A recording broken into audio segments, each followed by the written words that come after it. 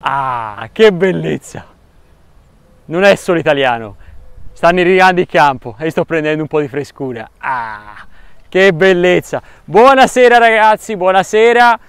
Oggi si gode, non solo per questo frescolino che mi arriva addosso e mi sta praticamente inondando, ma soprattutto per il rinnovo di Vincenzo Italiano. Sarà con noi almeno fino al 2024. C'è da dire che non è stata inserita la clausola, aspetta vengo più qua perché bellissimo, guarda là, ah, che goduria, meno male c'è la siccità, io vengo qui a combattere la siccità di questo periodo. Va bene, dicevo, non è stata inserita la clausola rescissoria che se non sbaglio fino adesso era di 10 milioni, quindi eh, chiaro, senza voler trovare subito il pelo nell'uovo, sono, sono tutto fradicio, senza voler trovare subito il pelo nell'uovo, chiaramente il prossimo anno, se dovesse andare bene, c'è la possibilità, eh, c'è questo, c'è questo spettro che possa essere preso senza clausola, però oh, ragazzi, chi se ne frega, Vincenzo Italiano ha rinnovato, siamo contenti, bene perché eh, è un progetto che va avanti, io non ho mai messo in dubbio, tra l'altro, il fatto che potesse rinnovare, un po' perché lo dico in maniera un po' brutale, eh, però prendetela un po' con le pinze, ma dove voleva andare? Nel senso che ha ancora bisogno di, di maturare calcisticamente come allenatore, ha ancora bisogno di prendere e, e far bene, soprattutto anche in Europa, che gli manca anche da giocatore, le panchine più grosse in Italia erano tutte prese, quindi o andava all'estero e rischiava di, di, insomma, di, di non, non, compiersi, diciamo così, oppure andava in una squadra di medio-bassa classifica e non faceva neanche l'Europa e a quel punto ripartiva da capo. Quindi secondo me io non ho mai messo in discussione questa trattativa perché secondo me sono state ingigantite fortemente le cose. C'era ovviamente, come in tutte le trattative lavorative professionali, c'era una piccola incomprensione, divergenza, chiamatela come vi pare, tra domanda e offerta, e tra, tra l'entourage del giocatore e dell'allenatore, l'allenatore, il procuratore e la società, poi si sono trovati, ma era normale. Tutte e due volevano continuare questo progetto e sono contento, come dicevo, che, che possa continuare. Tra l'altro quest'anno secondo me sarà il vero primo anno dove, dove Vincenzo Italiano entrerà fortemente, questo l'ha un po' anche fatto capire Gio Barone nelle trattative di calciomercato, che comunque, l'ha evidenziato anche oggi, non saranno stratosferiche, bisognerà puntare comunque a trovare eh, qualche, qualche, occasione e pagarla eh, quanto, quanto, più possibile. Chi poi si aspettava dei fantamilioni purtroppo rimarrà deluso, però non, eh, non, sarà così, anche in una trattativa come quella di Jovic, che comunque secondo me sarebbe una bellissima trattativa e porterebbe un giocatore che ha fame, un giocatore anche di, di fama internazionale a Firenze e farebbe un po' contento tutti, però dovremo trovare una quadra. La quadra del prestito potrà dare un pochino noia ai, ai tifosi perché dovesse far bene, non è tuo sto giocatore? Sì, però te adesso secondo me hai bisogno di pensare anche al presente.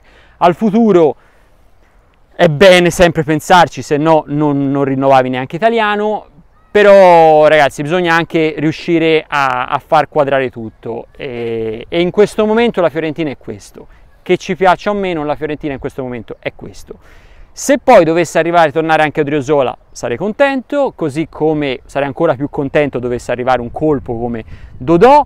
Ecco, su Mandragora, che non è Mandragola, che è la commedia di, di Machiavelli, per darvi anche questa chicca culturale, però su Mandragora sono un po' diviso. Perché? Allora, è un giocatore che tra l'altro io apprezzo già dai tempi dell'Udinese, dico la verità. Però bisogna ripensarlo, secondo me, in ottica diversa. Cioè, se, è chiaro se lo paragoni a Torreira, non ti può piacere Mandragola. Dici, ma scusami, ma ci sapeva Torreira. Però, se te la pensi in quest'altra ottica, come un giocatore comunque molto duttile, spendibile in più parti del, del gioco, perché sì è vero, è un mediano, forse viene a fare un play, ma non è così, così tirata di fuori il fatto che potrebbe alternarsi anche con, eh, con una mezzala potenzialmente, o ancora meglio, secondo me potrebbe essere un buon colpo se italiano e queste su alcune piccole indiscrezioni parrebbe che, che, si vada proprio in questa direzione se italiano decidesse di cambiare modulo. Quindi svisce, uscire eh, da questo maledetto e benedetto allo stesso tempo 433 dico maledetto e, benedetto perché? Maledetto perché non siamo mai usciti neanche nei momenti di emergenza da questo modulo. Benedetto perché effettivamente ci ha fatto anche godere quest'anno nel suo, nel suo piccolo quindi se dovesse uscire da questo 433 ecco che Mandragola allora potrebbe essere un acquisto buono molto buono molto molto buono perché comunque è giovane è un giocatore che l'anno scorso ha fatto 21 presenze, eh, si è fatto male, quindi non, non è stato troppo costante a livello, a livello di integrità fisica, quello potrebbe essere l'unico punto interrogativo, però è un giocatore nel giro della nazionale, se ne parla un, bar, un gran bene, è comunque di proprietà della Juve, quindi la Juve non è così pronta, non è stata mai così pronta a privarsene, ha una bella esperienza in Serie A, ha già militato in Genoa, in, eh, nell'Udinese, nel Torino, mi dicono i miei amici Granata che nel Torino ha fatto anche bene quando ha giocato, quindi che dire, io sarei anche favorevole, perché comunque è un giocatore che apprezzo. Certo, avrei sicuramente pensato ad altro, sostituendo Torreira, ma se si va in un'ottica di non sostituzione di Torreira ma un ripensamento del gioco potrebbe essere un buon acquisto.